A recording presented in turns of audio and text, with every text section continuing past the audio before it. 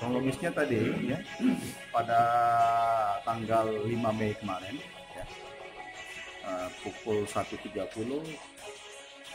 sebuah toko di daerah Pati juga uh, dimasukin oleh maling. Ya. Kemudian besoknya pada pagi hari uh, karyawan toko melihat uh, tokonya sudah berantakan dan sebanyak 48 handphone hasil pengecekan dia hilang dan termasuk juga uang ada kurang lebih 17 juta yang digondol oleh maling. Kemudian langsung melapor kepada pihak kepolisian. Ya, kemudian kita melakukan laporan itu melakukan penyelidikan di lapangan, di lapangan kurang lebih satu mingguan, ya, melakukan penyelidikan lapangan.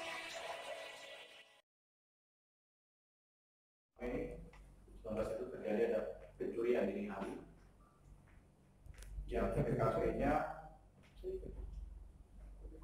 di Kelurahan Sarong 1, Kecamatan Daerah ini, yang mana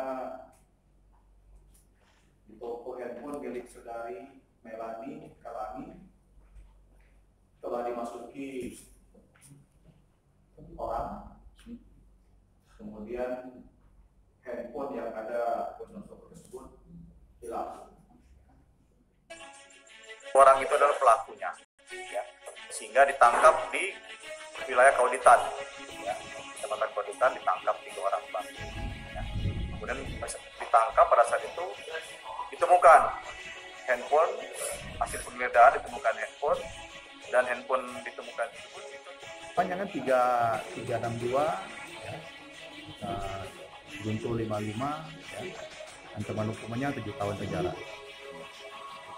uh, barang bukti daripada mereka itu hanya 9 handphone dari 48 handphone ya. Kemudian uang kurang lebih 8 juta sisa dari 7 juta ini kita akan kembangkan. Yang sisa handphone ini mau ke mana? Apakah mereka jual ke toko yang lain atau mereka jual secara perorangan atau mereka kasih jangan tak kembangkan kita akan carikan dan dapatkan itu